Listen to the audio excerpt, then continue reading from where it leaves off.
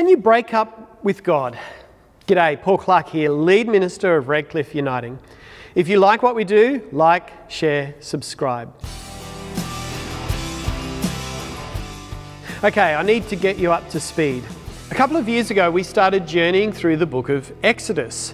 As a congregation, we're on a significant journey, and I really felt like God had something to teach us through this story. A story that has echoed through history and empowered the end of apartheid, slavery, and the civil rights movement, to name just a few. It's been a really, really profound journey. So we're heading back. And I have to remind you of where we're up to in the story. The Hebrew people had become slaves in Egypt. They cried out to God to rescue them, and after a generation, God sent Moses to rescue them. Through a series of cataclysmic events, plagues, miracles, and the gushing of water, the nation of Israel was born. They began this journey to the promised land, the promised end. God chose a bunch of nobodies to become somebodies that all the world might know there was a God in Israel, that all nations might be blessed and come into the presence of God. What we realized early on is that these people had been slaves for generations. They needed to learn to be free and ironically, to be free, they needed law, a culture that defined who they were and what they were going to be. It would help them become that peculiar people that would draw others to God. The way that this was brought about was not through some legislative process, but through a relationship with God. A relationship where God's character shone through that, that those laws. And we've used that as a metaphor a lot, and I'm really sorry because I know not everyone has those relationships, and I feel bad about that sometimes. So, the Ten Commandments was the wedding day, it's when the people made their vows to God. And even though God's presence was with them tangibly, visibly, actively, this journey had been difficult, like all relationships. We left the story soon after the wedding day. Israel had had an affair on their wedding day. They had embraced the golden calf. Yahweh was too hard to nail down, too hard to deal with. The golden calf, now that was a God they defined themselves, the God they wanted, rather than the one true God, the God they needed. Yahweh, He demanded purity, fidelity, and faithfulness, and that was just so hard. Why is God so petty about these things? But if you've been in a relationship, a significant relationship, you need purity, fidelity, and faithfulness for that relationship to work. So it's not an unreasonable thing. I mean, Becky, I want to date other girls. Why are you so upset about that? Obviously, this left God angry and broken. God said to Moses, Because of my promise, because of my goodness, you can still have the land. I'll send an angel to go with you get you established, but I'm not coming. The people realized what they had done and they were shattered. Moses said, Lord, if you don't come, what's the point? The promised land is empty without you. I'm building a home. I know my home would mean nothing without Becky and the kids. That's when you suddenly realize hang on, hang on a sec. Is this a breakup story? You should be able to relate to breakup stories. I mean, we all have them, it's a common human experience. Some of the biggest musical hits are, are breakup songs, not your we are never, ever, ever getting back together type of song, but the regret song, the, the heartbreak song. I want you back, don't care what I have to do. You know, we can't go on together with suspicious minds.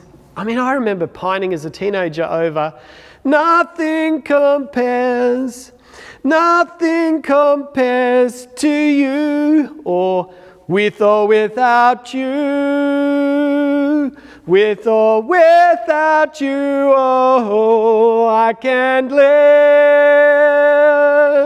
with or without you. Okay, singing was a bit off there. But what was your heartbreak song? Anyway, I've prepared many couples for marriage. I've been amazed how many of these couples have breakup stories. The couple have discovered something about each other that they didn't know, that they don't like. It's not always even something bad, it's just this person is different to me. And then they have to decide is this the person? Do I really love this person? Is this going to work?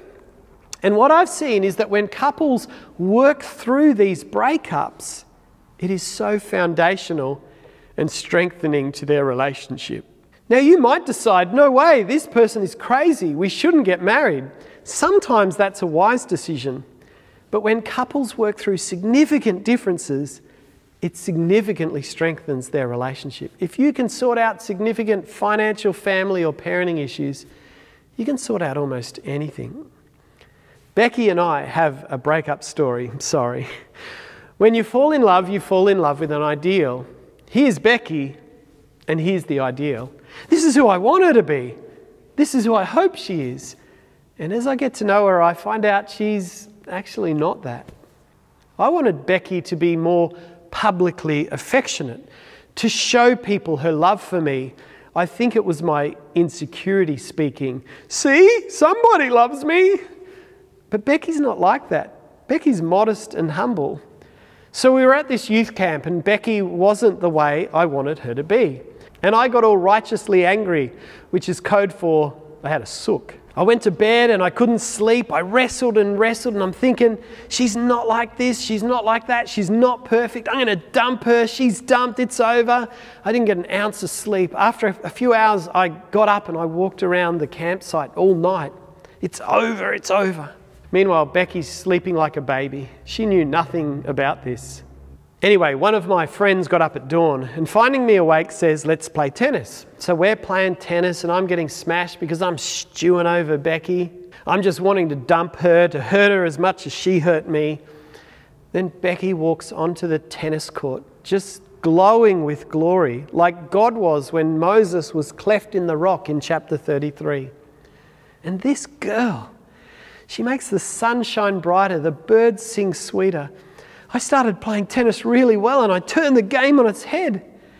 And I realized she is the one. What an idiot. We can work it out or I can get over myself. I don't get what I want. Maybe God is giving me better than what I want. In this story, Moses and God are working out the breakup. The God they want, the cow God, isn't the God they need. So there's repentance, there's humility, there's reconciliation, and they renew the covenant. God says, okay, back up the mountain, let's do this again.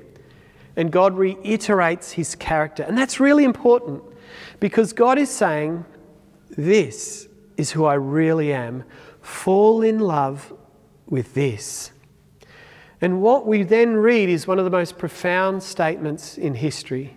Yahweh, Yahweh, the compassionate and gracious God, slow to anger, abounding in love and faithfulness, maintaining love to thousands, and forgiving wickedness, rebellion, and sin. Wow, if there was ever a statement of what we need as children growing up, teenagers blooming, workers working, leaders leading, it defines great psychology, great leadership, great culture but only, only with the rest of the quote. Yet he does not leave the guilty unpunished. He punishes the children and their children for the sin of the parents to the third and fourth generation. Teachers know, police know, parents know, you can't have grace, mercy, love, and forgiveness without justice. A world without justice is forever broken.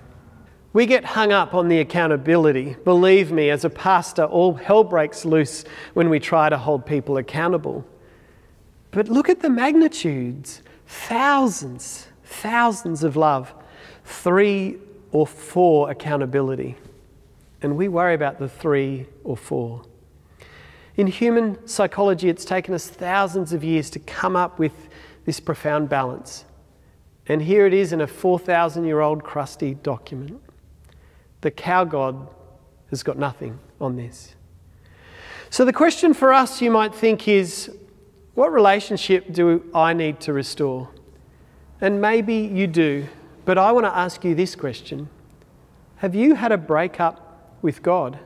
Because we do. We think God should be this way, that way. I prayed, God didn't answer. I didn't get what I want. In fact, things got worse. Terrible things are happening, and God, where are you? Now, you could see this as a cop out. This is just Paul's excuse for why God doesn't answer prayers. But what I've discovered in my life is when God says no, that's when I've got the most to learn. That's when it's about me submitting my will and my ego to whom God is and saying, okay, the God who has chosen me is so much better than the God I want to choose. So, what have I got to learn here? Where are there things in your life that you think God has let you down on? But if I'm really honest, I wasn't really living faithfully. I just wanted my way. Maybe we need to renew the covenant. The good news is, God is willing to do that. God is willing to renew the covenant. Look at Jesus, the new covenant. Just a word on one part of this story. As they go into the promised land, God says, I'm going to drive out the inhabitants of the land. Don't make a treaty with them, it's just going to lead to compromise. This is part of the story of them setting up this pure culture that would, in the end, bring the other nations in. There was this sense that we've got to do this with purity. We've got to do this with 100% or it won't work.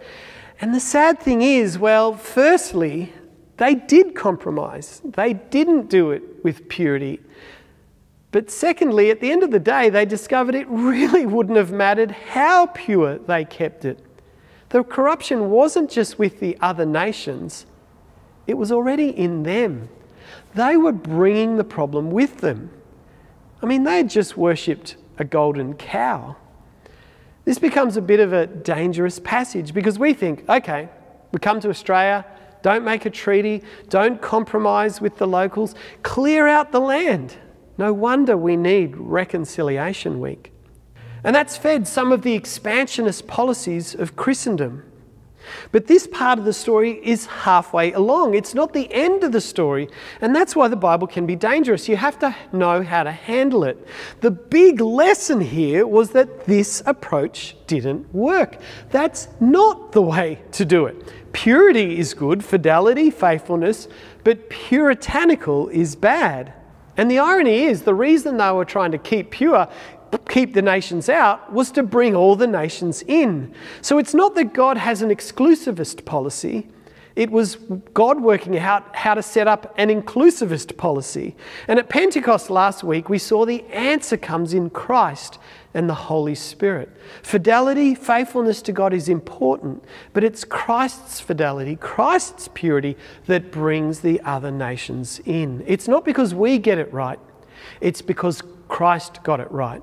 And that helps us when we're building this hub because should we be making agreements and partnership with other agencies? Will we compromise and lose our way? They are good questions.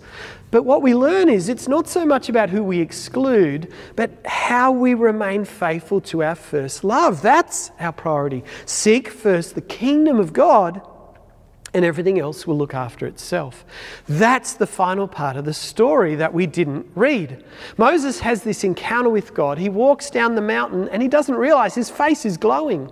And he walks up to people and it's like, man, you're glowing, radiation, radiation. You've had that experience where you're in love with someone. You can't help but talk about them, gush about them, and people say, man, you're glowing. Do you like that person? No.